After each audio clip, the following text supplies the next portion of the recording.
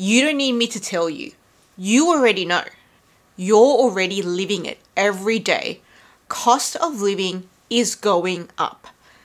Food, housing, gas, or as we call it in Australia, petrol.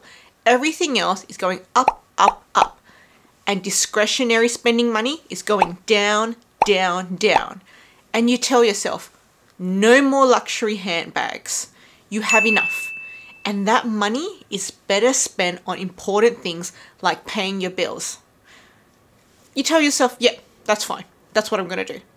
Then one night, when you're relaxing, maybe after work or on the weekend, go, let's just do some online browsing. Just innocent scrolling. And you scroll the internet just to see what prices are like at the moment, see what bags are on sale, and then bam. When you tell yourself no more bags, that's when you see one that really tickles your fancy and is at a really good price. I really want it. That's such a good price. And that's when the internal struggle begins. Then you have the little angel on one side telling you, no, don't buy that bag. Stop looking at it. You need to put that money away. You need to save that money. And then on the other side, it's the little devil telling you, you deserve it. Just treat yourself. You've been working really hard lately. It's just one bag. You can save more next week. This is when the internal dialogue goes. That's when you battle yourself back and forth internally. Okay, who else can relate to this? If you can relate, put your hand up and hit the like button because this is exactly where I am right now. The last bag I bought, the last bag I unboxed here on YouTube, was just in March 2023. And it was this gorgeous vintage Louis Vuitton St. Cloud PM bag. Look how stinking cute this bag is. Actually, I never even thought I'd ever buy this bag because I'm typically not into really small bags. And I already own this bag in the bigger GM size, which I already love as well. But let me tell you, since I bought this bag, I've loved it so much. And I told myself, that's it, girl. One bag for this year, that's enough. You already have so many bags. You have like 20 plus luxury bags. That's enough for the year. No more. Economy is going bad. Save your coin for those important things. Then one night after work, oh, I'll just do some innocent scrolling. Just grab my phone, see what's on eBay. And then there it was. I've been wanting a St. Cloud GM in the epi leather for the longest time, specifically in the Kenyan fawn color, but I kept putting it off. And then what do I find? The vintage St. Cloud PM in the epi in the Kenyan fawn color at a really good price. Worst timing ever. Just when you tell yourself no more bags, that's when you find one at a really good price and then you have the internal battle. Now, a wise friend once said this to me, and it's always stuck with me. A deal is not a good deal unless you actually needed the product. Now, I think a lot of us can relate to this internal struggle, and I think it's really helpful to just talk about it. Like, hey, it's okay to battle yourself on what you want to buy versus the reality of your discretionary spending budget.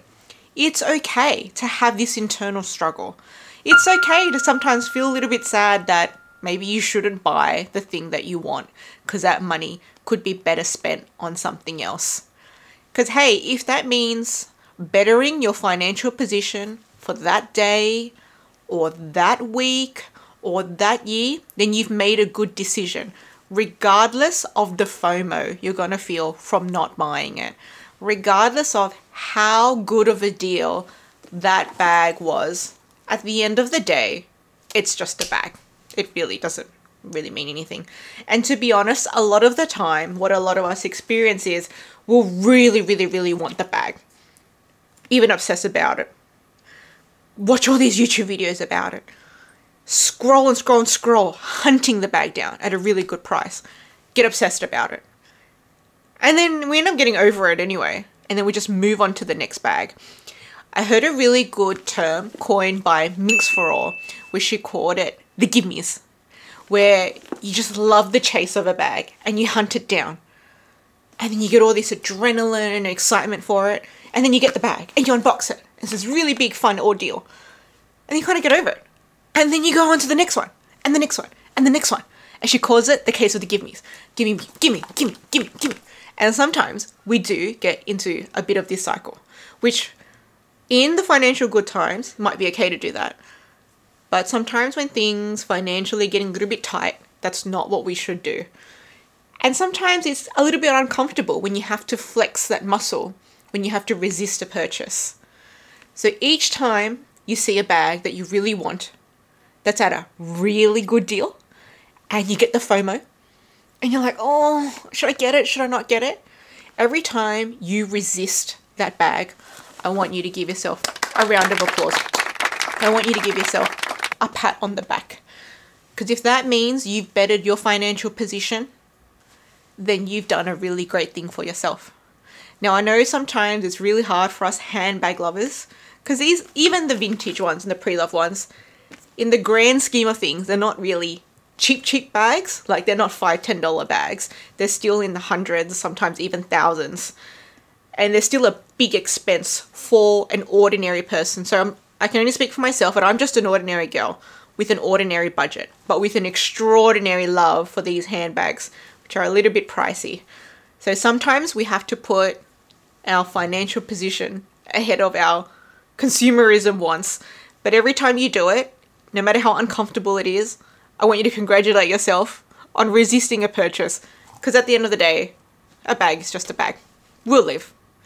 Now, if you're really relating to this topic of internal struggles with shopping and having to tighten up your belt or tighten up your budget because of the rise of cost of living, I'm actually going to be talking about this a lot more because it's something that's really real and something that we're living through. And things are start, kind of getting worse from how they were a couple of years ago from when maybe a few of us started collecting when we had more discretionary spending money and the prices were better. So because things are changing, our shopping habits really need to adapt with it, despite what we want, because we want to just keep shopping sometimes. So let's talk about this more. Watch out for future videos on this topic.